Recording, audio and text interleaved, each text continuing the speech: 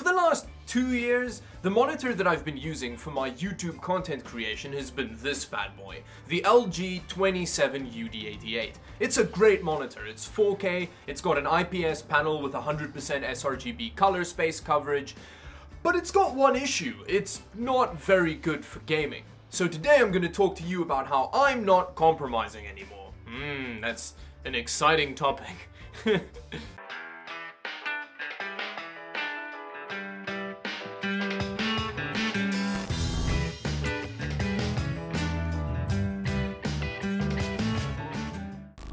The LG 27UD88 has served me very well in my content creation journey over the last two years. The resolution means that there's a lot of space for stuff.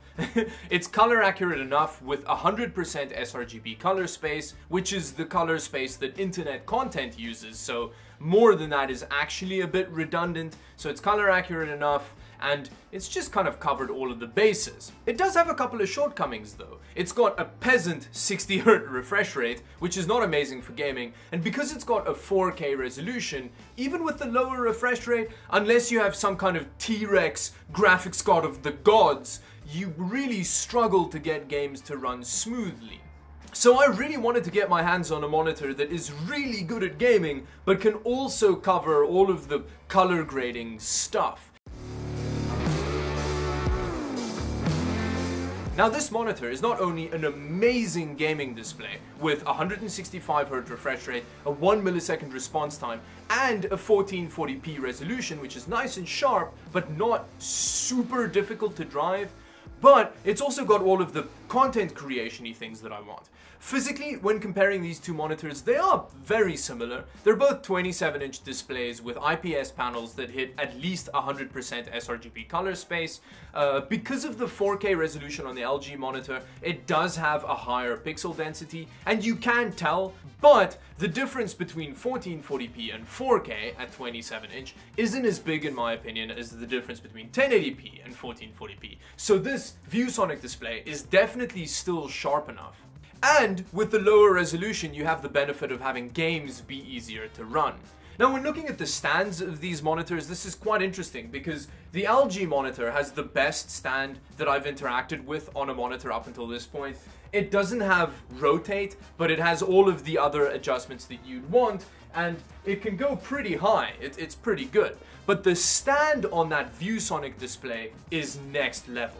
It does have a really big footprint on your desk, but it can go super high. Like, look at that! Its maximum height is quite a bit higher than the maximum height on the LG. And that's really nice for stuff like video editing and long hours at your desk because the LG monitor is a little bit too low, so I still have to look down at it. Whereas with the ViewSonic one, I can put it right in my eye level, so it reduces neck strain and stuff like that. It is an amazing stand it's very heavy duty. If I shake the desk here, look at that! Look at that difference!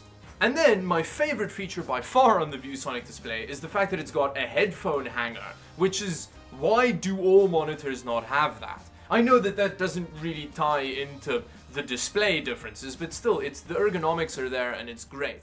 Now before we get into the differences when it comes to actually editing videos and stuff, let's talk about the gaming experience. Because that's kind of the main reason that I wanted to upgrade to something like the XG270 GQ with its, with its G-Sync and all that stuff.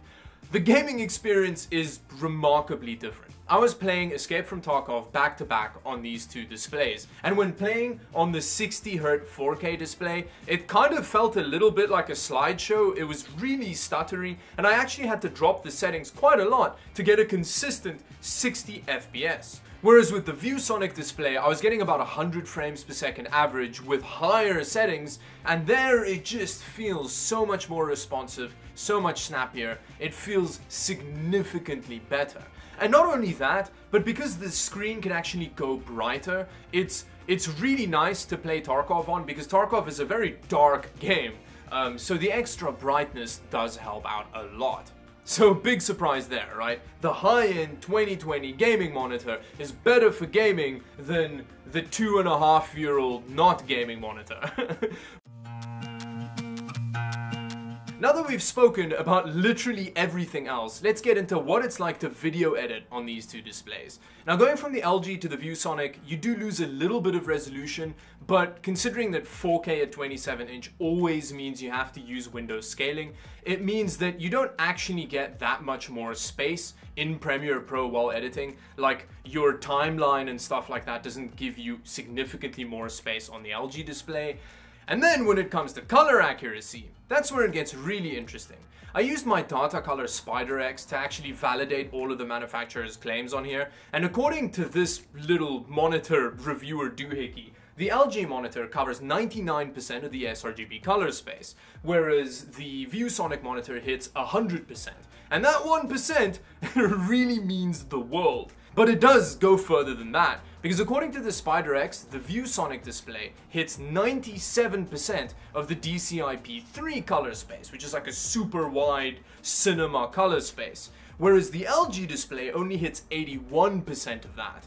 Now again, for an internet content creator, that difference doesn't really matter, but it shows that the ViewSonic display is quite a bit more color accurate. Although there is one place where the LG monitor does beat the ViewSonic monitor hands down, and that's when it comes to screen uniformity. So the maximum deviation in brightness on the ViewSonic monitor is about 16%, which isn't amazing, but it's, it's pretty good. Whereas on the LG monitor, the maximum deviation is 10%, which is, that's pretty good. Although bear in mind that this does vary from panel to panel, so you can have three of the same monitor and they'll potentially have different uh, panel uniformities. So in conclusion, the ViewSonic monitor is a pretty big step up. Not only is it a significantly better gaming display than the two and a half year old non-gaming display, but it's also more color accurate and I do actually prefer editing video on it, except for the fact that it doesn't have that 4K resolution.